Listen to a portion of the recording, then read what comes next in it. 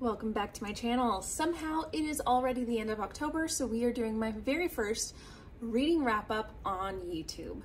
I um, did not have the best reading month. Um, I really only managed to get as many things done as I did because I read short stories. Um, but I, I will say that I pretty much enjoyed everything that I did read this month. Uh, I didn't give anything below three stars, which is nice. I, I like my months where even if I don't get a lot done, at least I had a good time while reading what I did read. I started the month off with Bone White. Uh, I This is my second Ronald Malfi book, both of which I've listened to on audio. My first was uh, Come With Me, and um, I picked this one up just because I, I really liked Come With Me, and this was a five-star read for me. I think Charles Constant, the narrator, did a wonderful job.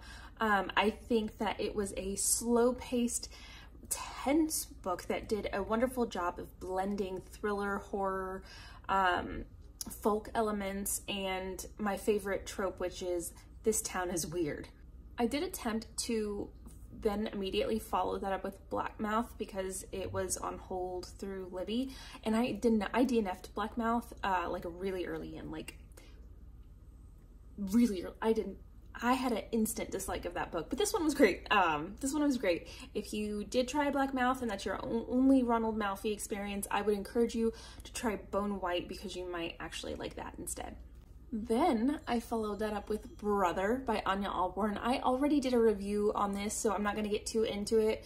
I'm just going to say it was five stars. It was wonderful, and I will be doing a live with one of my friends on BookTok uh, here soon where we're just going to discuss it once she is done reading the book. And then I switched over to spicy books. Um, so this is Riding the Headless Horseman by Molly Likovich and um, it's 53 pages of smut. And um, basically a woman woman meets the headless horseman and then they do it. It's fun. It's great for halloween. It was a good time. I enjoyed it. Four stars. After that i read the Wehr Wolf by alma katsu. Uh, this was 79 pages um, and it is a short short story no novel i don't know whatever. Um, about a village in Germany and uh, there are werewolves. And it is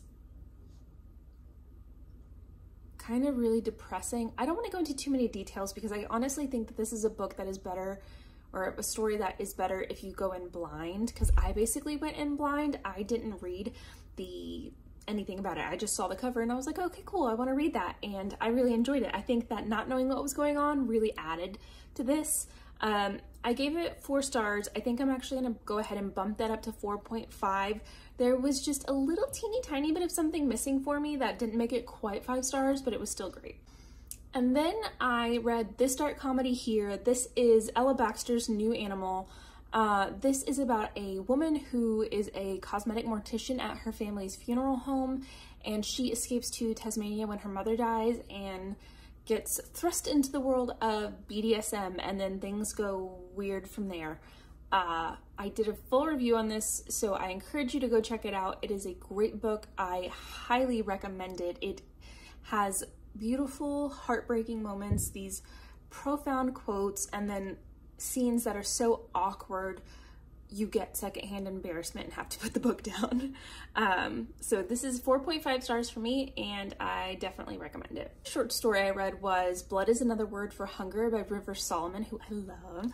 Um, this was 32 pages and is another book that I, or short story that I went into blind. I don't know what it was this month. I just started picking stuff up and, and just reading it. Um, basically there is a connection to the other side.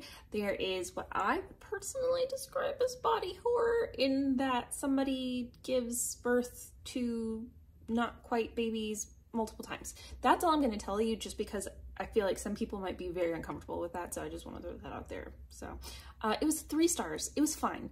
Um, I liked where it was going. I, it was just, it was a good book or a good story, whatever. It was good, it wasn't great, basically. And then I did Bloodchild, which is a short story by Octavia Butler, and my first Octavia Butler experience, and I loved it. This was really good. It was uh, a bit confusing. I haven't even fully rated this yet, honestly. I'm, I'm to be real with you just because I don't quite know how I feel. I know I liked it. I know I enjoyed it, but I just don't know where I want to go in terms of reading this story. I, I am unsure. Sometimes it's fine to not know things, especially in these weird types of stories, but I just feel like we could have known a little bit more and it would have been more effective. Anyway, so then I went ahead and I read The Evening, the Morning, and the Night, uh, also by Octavia Butler, and I freaking loved this. Um, this is a dystopian, like, science fiction short story. It's 45 pages long. It's got this, like, creeping horror.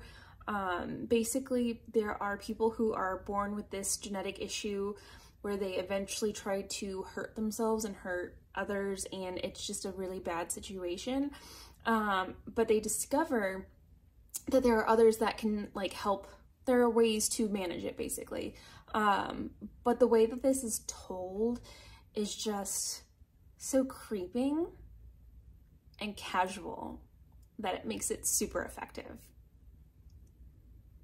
I loved. I, I I wish I could experience this again. I really liked this. I'm I, maybe nobody else will feel this way, but I just there was something about this that was just mm, my final book of the month is a reread. It's Black Sunshine by Karina Halle.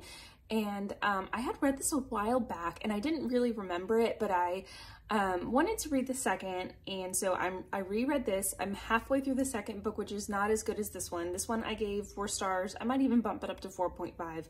Um, but I'm like halfway through the second and I'm not as enthused about it, but that happens with me sometimes. I'm a mood reader. It is who I am. It is what I do. And it's a, it's basically a vampire romance with smut. And, um, oh, she's strong, but she doesn't know it character.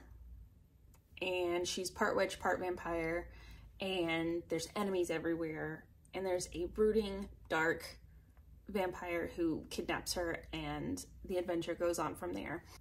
I like I like I like it. Is is the dude problematic? Yes.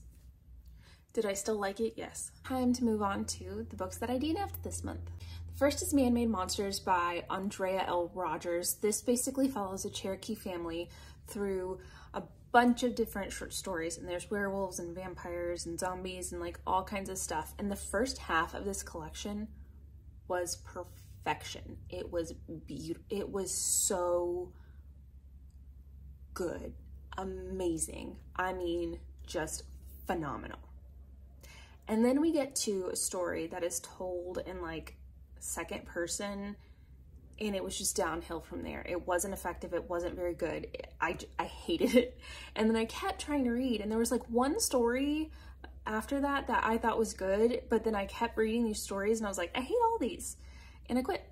And then finally, The Demon's Bargain by Katee Robert. Uh, I love Katie. I did. I do not love this. I I got about halfway through this. It's 132 pages. It was fine. It just was not one of those. Usually I'm like super invested in Katee's books. I am just like, I, I wasn't. I, I got, again, halfway through and I was like, I, I don't care. I don't care. The smut's not exciting anymore. I don't care. The relationship's not exciting. I don't care. Anyway, thank you for joining me for this rambling October wrap up. I hope you guys had a great month and uh, I will see you soon.